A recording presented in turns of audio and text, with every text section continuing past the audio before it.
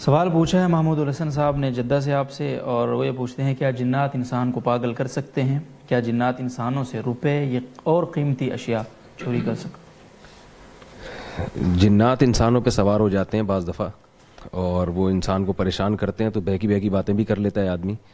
لیکن اسی طرح بعض دفعہ ایسا بھی ہوتا ہے، کوئی یہاں سے اٹھا کے کوئی چیز ادھر کر دی، ادھر سے اٹھا کے کوئی چیز ادھر کر دی۔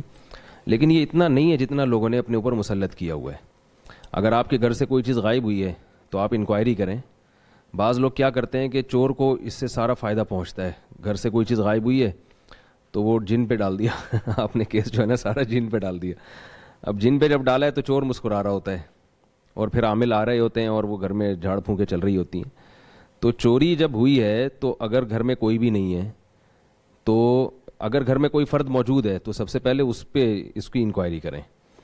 تو جب ہم اسباب کی دنیا سے باہر نکل کے اس طرح جن چڑیل بھوتوں کی دنیا میں جاتے ہیں نا، تو اس سے پھر ہم ترقی نہیں کر سکتے اور ہمارے کوئی بھی کام دنیا میں نہیں ہو سکتا۔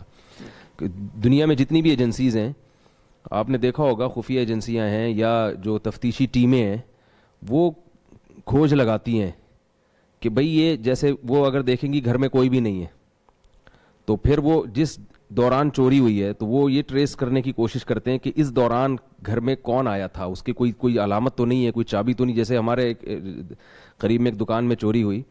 تو انہوں نے تفتیشی ٹیموں کو بلایا کہ بھئی دیکھیں، چور کو پکڑنے کی کوشش کریں۔ تو ایک بٹن ملا ان کو۔ وہ بٹن پھر انہوں نے کیا کیا ہے کہ وہ پورے محلے میں یہ دیکھنے کی کوشش کی، یہ بٹن کس کا ہے؟ اور اس سے چور پکڑا گیا۔ کیونکہ وہ چور بھاگتے ہوئے کہتے ہیں نا، مشہور ہے کہ کوئی نہ کوئی چیز نشانی چھوڑ کے جاتا ہے۔ اب اگر وہ تفتیشی ٹیمیں کو نہ بلاتے اور خود بیٹھ کے کہتے یار کوئی بھی ذریعہ نہیں ہے تو اس کا مطلب جنات نے دائیں بائیں کیا تو عاملوں کو لے آتے۔ جو میری رائے میں سب سے بڑے چور ہیں معذرت کے ساتھ۔ تو وہ ایک نیا سیٹ اپ شروع ہو جاتا ان کا۔ تو اس لیے ہمیں اسباب سے ہٹنا نہیں چاہیے غور کرنا چاہیے چیزوں کی حقائق تک پہنچنے کی کوشش کرنی چاہیے۔ باقی جنات ایسے چوری کر لیں یہ بالکل پیسے غائب کر دیے۔ میرا خیال ہے یہ کوئی شرعی مسئلہ نہیں ہے۔ کوئی قرآن و حدیث میں کوئی ایسی باتیں نہیں ہیں یہ مشاہدے کی باتیں ہیں۔ میری رائے سے کسی کو اختلاف بھی ہو سکتا ہے۔ تو میرا جہاں تک مشاہدہ ہے ایسا نہیں ہوتا۔ جی۔ بینکوں سے کیوں نہیں چوری کر لیتے؟ یا آپ کے بٹوے سے کیوں چوری کرتے ہیں؟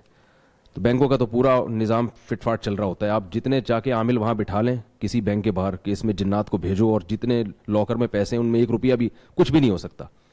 ابھی ایک صاحب کا فون آیا میرے پاس کہ ایک عامل میرے علاج کے لیے آیا تھا ان کی بھی کچھ اس طرح کا مالی کرائسس میں مبتلا ہو گئے تھے وہ۔ تو اس عامل میں نے کہا اس عامل نے آپ سے قیمت کیا مانگی۔ انہوں نے کہا، عامل نے مجھ سے کہا کہ مجھے یو کے کا ویزا لگوا دیں آپ۔ وہ صاحب بہت بڑے سیٹ تھے۔ تو میں نے ان صاحب سے کہا کہ جو عامل اپنا یو کے کا ویزا نہیں جنات کے ذریعے لگوا سکتا، تو وہ آپ کے آپ کو اتنے کرائسس سے کیسے نکال سکتا ہے؟ تو اس لیے زیادہ جن چڑیل بھوتوں کے چکر میں نہیں پڑنا چاہیے۔ آیت الکرسی ہے جو اللہ کے نبی نے ہمیں اعمال بتائے ہیں ان سے انشاءاللہ جن چڑیل بھوتوں سے ہماری حفاظت ہو جائے گی۔ آیت الکرسی سورہ فلق سورہ ناس۔ جی۔ اس پر اکتفا کرنا چاہیے اور اگر چوری ہو گیا تو چور تک پہنچنے کی کوشش کریں جن پہ ساری بلی نہ ڈالیں۔ ورنہ چور خوش ہوگا اس کا سارا فائدہ چور کو پہنچے گا اس بہت شکریہ جی۔